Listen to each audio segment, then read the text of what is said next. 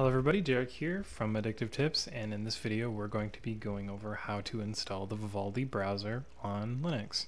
So we're going to be starting out by using the Arch Linux installer because that one isn't officially supported and then we're going to move on to how to install it under Ubuntu just so we can cover two distributions. If you're using an RPM based Linux distribution like SUSE or Fedora, the instructions are down below.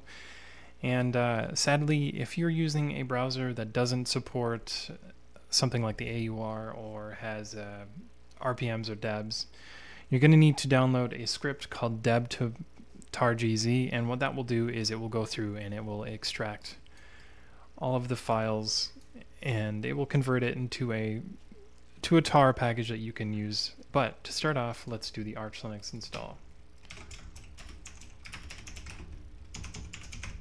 So to start off, we need to go to the AUR and we need to look for Vivaldi.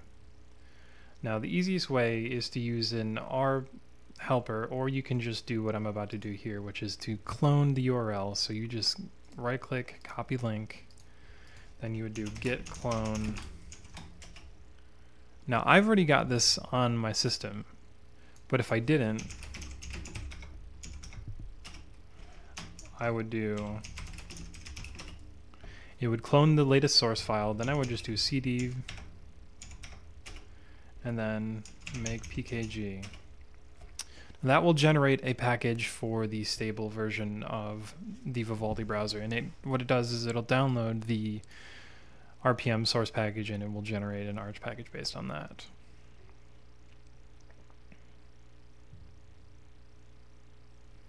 And this takes a bit of time but when it's done, it will have a generated package that you can use to install to the system. So the package generation is done, and if we look at the directory, we can see that we can install Vivaldi on Arch just by doing ls and copying this and doing sudo pacman u, enter your password, and uh, then you just open up the manager here and search for Vivaldi, and it is right there and I can launch it just like any other browser. Let's move on to Ubuntu though.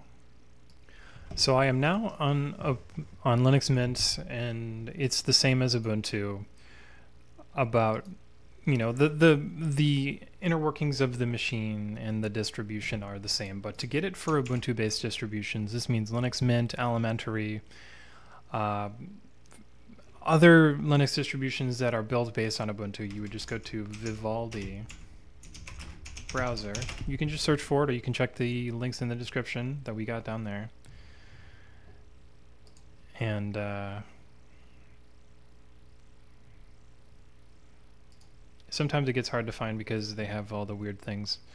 But for 64-bit, which is what we are on, because if we go here, uname dash a, we can see we are on the 64-bit version of Ubuntu, the Ubuntu kernel.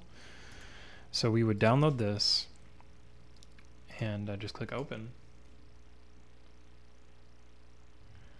And once you do that, the GDebi package installer will show up. And of course, if you don't use the GDebi package installer, you can also just open up a terminal like we cover in the article, go to downloads, ls, and uh, you would just click save link as save the package. And then you can just install it via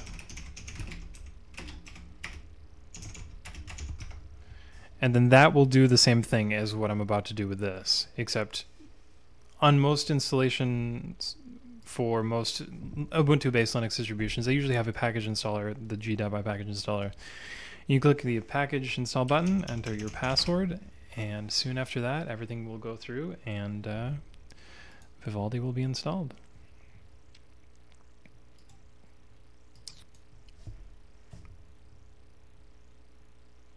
When the installation finishes, you can just go to menu, go to internet, and then click Vivaldi and uh, there you go. So um, I would love to cover the Snap and Flatpak versions of this for everybody, but sadly they do not exist. So guys, that was how to install the Vivaldi browser. Uh, I hope you enjoyed it, and I will see you in the next one.